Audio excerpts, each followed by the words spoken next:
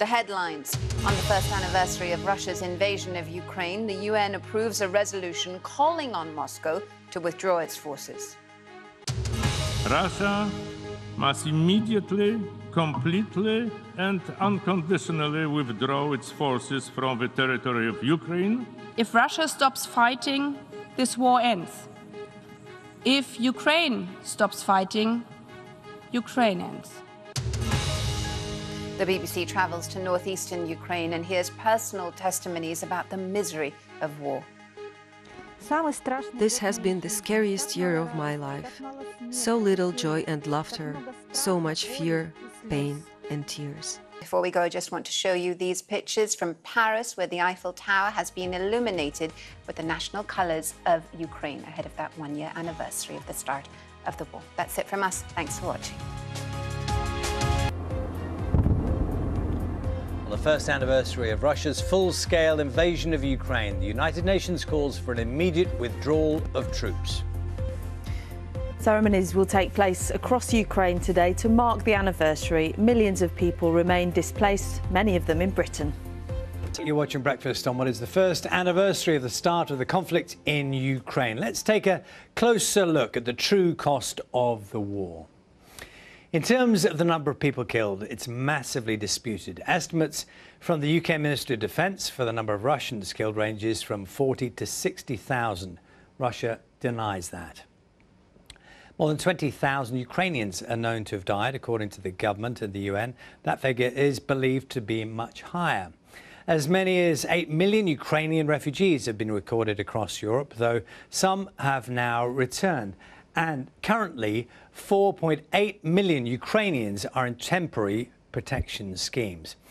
Take a look at this map here. It shows where they've gone and how many have fled to each country. Russia has claimed 2.8 million Ukrainians have fled east across its border, but the UN has not been able to verify this. So, a year ago, before the invasion, the only occupied territories in Ukraine were Luhansk and Donetsk in the east, held by Russian backed separatists. Just weeks later, large parts of the south, east, and north of Ukraine were under Russian military control. You can see in the red on the map there. But Ukraine has fought back thanks to artillery from Europe and the US and seized back much of the north. Russia still occupies large parts of the east. Have a look at some of the front pages for you, and many of them reflecting on the anniversary, of course, of Russia's invasion of Ukraine. Times headline reads Ukraine's Year of Blood features a picture of a refugee draped in her nation's colours and sitting on the rocks of Carmarthenshire, where she now lives. Now, the metro marks the first anniversary of Russia's invasion of Ukraine with the evocative picture of Ukrainian flags in the graveyard. Now, this is the front of the Times there, the headline there Ukraine's Year of Blood. The Archbishop of Canterbury warns that Russia must not be crushed or we risk a country left in the same state as Germany after the First World War, which brought about the rise of Hitler. It's Friday, the 24th of February. Our main story the United Nations General Assembly has overwhelmingly backed a resolution condemning Russia's invasion of Ukraine, which took place exactly a year ago. The motion, which calls for the withdrawal of troops from Ukraine and a halt to fighting, was backed by 141 nations, with 32 abstaining and seven, including Russia, voting against. Well, let's speak to our Ukraine correspondent, James Waterhouse, who's in Kiev for us this morning. James, Russia thought this would be a short invasion, that Kiev, where you are standing, would have fallen into their hands by now. But everybody has been surprised by the resistance, and here we are, a year on. That's exactly right, Nina. I think on that morning, uh, this time last year, the once unthinkable happened. So many Ukrainians thought Vladimir Putin was bluffing when he gathered more than 150,000 of his troops across Ukraine's vast borders.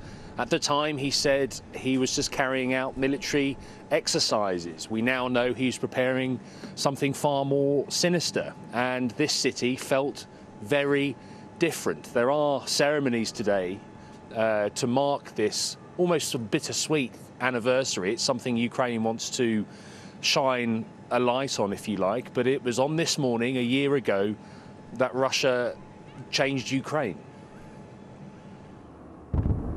A thud, marking the moment when Ukraine and the world uh, changed forever. Much bigger land grab. We've just heard a siren go off for the first time. We haven't heard that before. After months of build-up, 150,000 Russian soldiers crossed the border. Millions headed the other way. A country under attack, with its people caught in the middle. Where Russia retreated, horrors were revealed. Ukraine's president became a wartime leader. His video addresses now a nightly ritual. Moscow is still framing this as a defensive war. Today, once again, we are in grave danger. Using Ukraine, the collective West is seeking to dismember Russia, to deprive it of its independence. These attempts are doomed to fail. The United Nations has voted to demand Russia stops its invasion. Today, the UK is going to urge countries to support Ukraine for as long as it takes. For now, in the West, there is broad unity, but that could change the longer this war goes on. Ukraine has reclaimed some of what was taken, like here in Kherson. Complete liberation is a long way off. Kherson, as we speak, is being continually shelled. 40,000 people, according to President Zelensky, are without power. Now, Ukraine would ultimately win the battle for Kiev, but Russia occupies almost a fifth of the country still. I think we are some way off liberation, but what President Zelensky said overnight on this day was that millions, he said, uh, made a choice this time last year. Uh, we didn't choose a white flag, we chose a blue and yellow flag, he said. We chose not to flee, but face.